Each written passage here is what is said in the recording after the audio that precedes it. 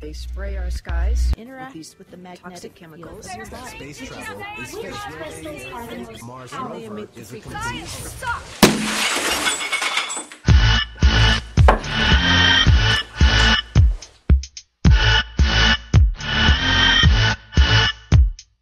Hi, I'm Rich Lund, and welcome to the first Debunk the Funk Quick Shot. Every once in a while, a Debunk the Funk previous episode might have a supplemental add in or footnote, if you will. That's what a quick shot like this is meant to be. In episode number one of Debunk the Funk, we were examining the flat earth idea and how it has some very unsatisfactory and very much conflicting explanations as to what's happening when the sun sets or when the sun rises. I performed two demonstrations using a cardboard cutout representation of the sun. In the first demonstration, I stood on some train tracks with this sun, not recommended, and then moved the sun away into the distance. In the second demonstration, I stood on a curved overpass as I moved away. These were not experiments, mind you, but demonstrations. They were meant to demonstrate how a visually round object would look if it moved away from the viewer and how a visually round object would look to a viewer if between the viewer and the object, if within the line of sight, there was a bulge due to curvature. We then witnessed a real sunset with Lake Michigan as our horizon, and then we compared the empirical evidence of what a sunset actually looks like to the two demonstrations. See, according to the flat earth idea, the reason why we see what we see when a sun sets is because the sun is relatively close to a disc shaped earth, and that the sun eventually sets each day because it is moving too far away from the viewer to be seen. And still to this day, I've never heard a satisfying, non conflicted answer as to how an object's bottom half can be too far away to be seen while its top half remains completely in sight. Well, a recent comment on the Debunk the Funk episode 1 video made a claim, and I thought I'd be a good sport and test it out. Here it is. Me Cool writes You are just ridiculous. Did you notice that you put your camera higher than your sun?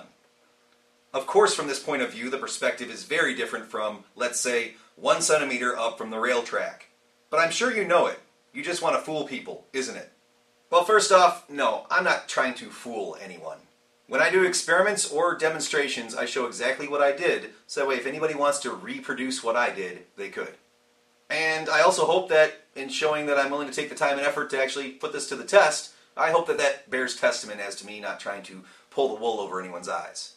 If I was out here trying to fool people, I don't think I'd be willing to do this. Now, also, I'm not going to do this for every comment that comes my way that makes a claim.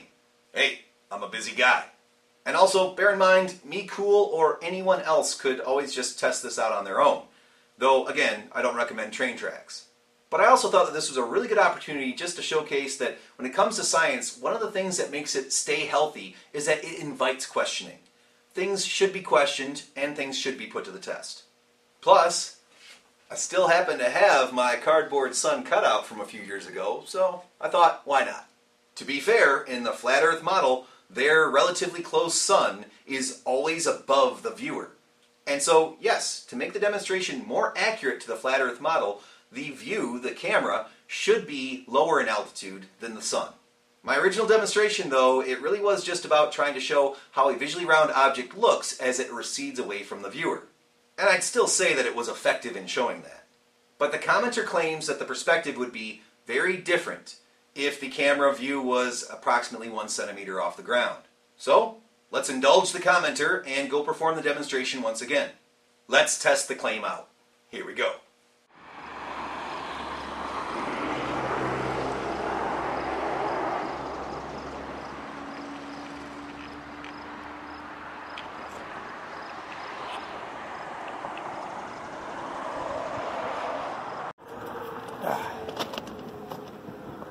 All right, so now we got both cameras turned on, one in the normal position, one down at level with the train tracks. Here we go. Here's my starting position. Now I start moving back, and I was taking about 15 steps or so on the train tracks every time I turned around and showed what the sun looked like. Here's the first new position I got to. I move away some more. Here's the second new position, so third position total that I got to. you can see that as I move away, our sun is getting smaller and smaller, just like last time. Here's another position.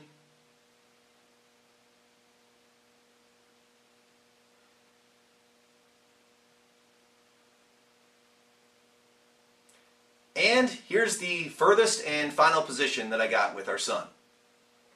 Alright, let's head on back and see what we got. Okay, so viewer, what do you think?